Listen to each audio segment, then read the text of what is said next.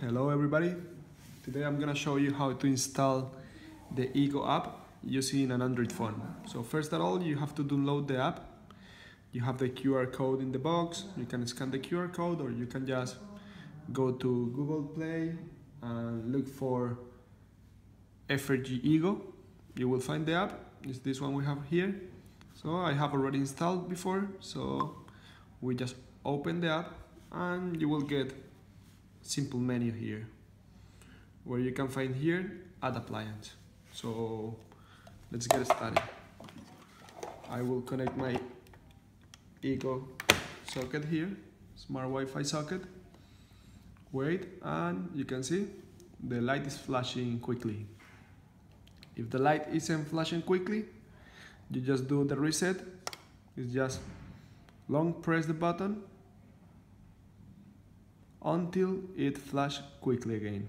Now we can see that it's flashing slow and once the device is reset it will start flashing quickly again. Mm, press it one more time.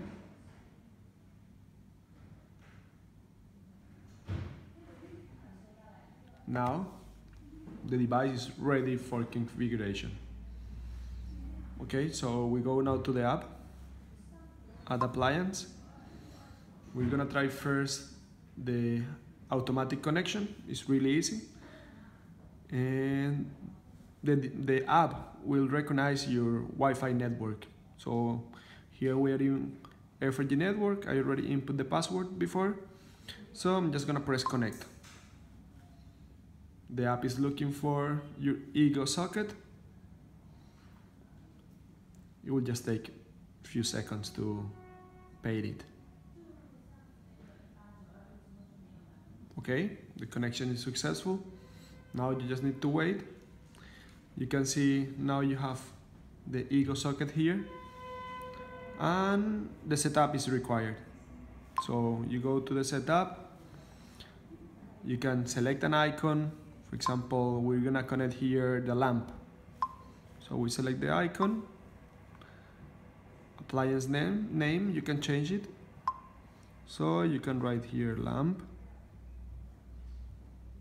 office.